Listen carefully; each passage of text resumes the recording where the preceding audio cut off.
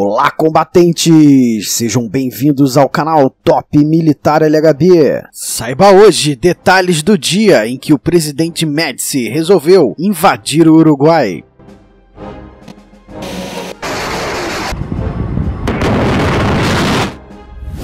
E se você curte as forças armadas e policiais do seu país, aliste-se agora em nossas fileiras se inscrevendo no canal. Fogo à vontade no like, vamos ao vídeo!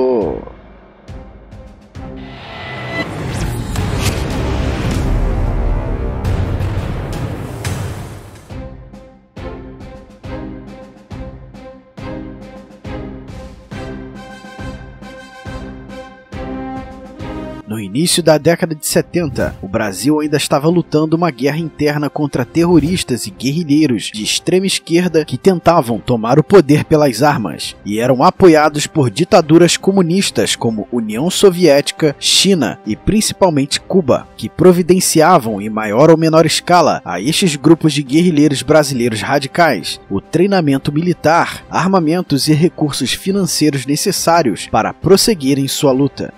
Como retaliação, o Brasil enviou cerca de 4 mil soldados para intervir na Guerra Civil da República Dominicana, para impedir que a facção militar apoiada diretamente por Cuba conseguisse tomar o poder naquele país e também enviou agentes secretos do antigo SNI, especialistas em explosivos, para atuar na Guerra Civil Angolana, de igual modo, para combater contra a facção militar de extrema esquerda que era apoiada diretamente por tropas e forças especiais cubanas e soviéticas, a MPLA. Todos os detalhes destas histórias você pode assistir nos vídeos que aparecem a partir de agora nestes cards e que eu vou deixar os links aqui no campo de descrição do vídeo. Foi diante deste cenário tenebroso de uma guerra assimétrica com Cuba que o presidente Emílio Garrastazu Médici tomou uma decisão extrema em 1971 de acordo com os documentos secretos produzidos pelo Departamento de Estado dos Estados Unidos à época, por meio de telegramas, relatórios e memorandos trocados com embaixadas e consulados no Brasil e países da América do Sul, mostram que os governos do General Médici do Brasil e de Richard Nixon nos Estados Unidos estavam muito preocupados com a situação política na América do Sul após a eleição de Salvador Allende no Chile em 1970.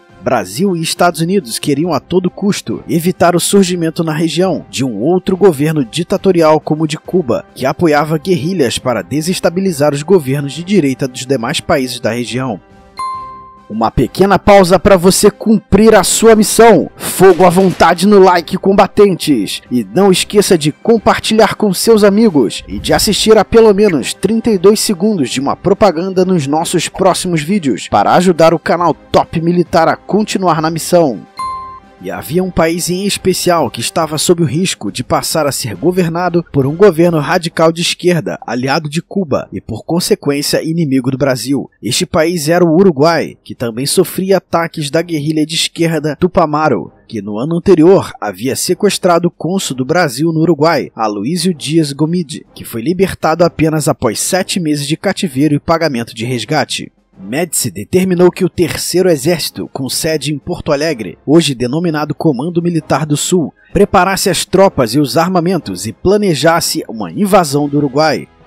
As tropas mecanizadas e blindadas brasileiras sairiam de Porto Alegre, Uruguaiana, Santana do Livramento e de Bagé. O carro de combate M41 Walker Bulldog era a principal arma do exército brasileiro naquela época. As tropas cruzariam as fronteiras em direção a Montevidéu em um avanço rápido e fulminante sobre as forças armadas uruguaias, enquanto forças especiais vindas do Rio de Janeiro se encarregariam da guerrilha Tupamaro em uma verdadeira guerra relâmpago para evitar que Cuba ou União Soviética pudessem se mobilizar para enviar tropas e armamentos para impedir a invasão brasileira.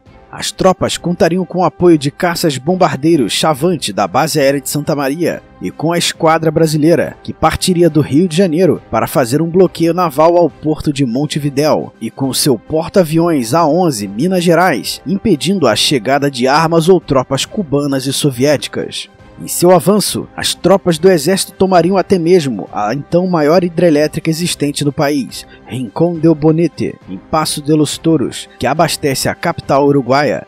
as Forças Armadas Brasileiras planejavam que a invasão, com a completa queda de Montevidéu, poderia ser executada em cerca de 30 horas. O start da invasão seria o resultado das eleições uruguaias em novembro de 1971. Caso a eleição presidencial do país vizinho fosse vencida pela coalizão de esquerda, a Frente Ampla, que era apoiada por Cuba, então as tropas brasileiras atravessariam a fronteira para tomar o poder no país.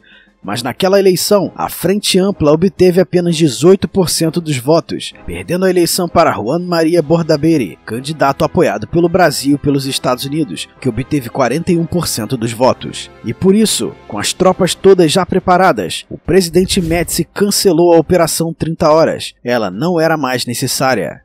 É isso aí, combatentes! Comenta aqui embaixo. Se você estivesse no lugar do General Médici, também tomaria esta medida extrema de invadir o país irmão Uruguai, caso um governo de extrema esquerda chegasse ao poder naquele país e servisse de base de apoio para Cuba na guerra simétrica que acontecia com o Brasil? Comenta aqui embaixo. E apoie o trabalho patriota do canal deixando seu like, se inscreve e ative o sino. Somente assim você não vai perder nossos próximos vídeos. Um forte abraço a todos e até a próxima missão!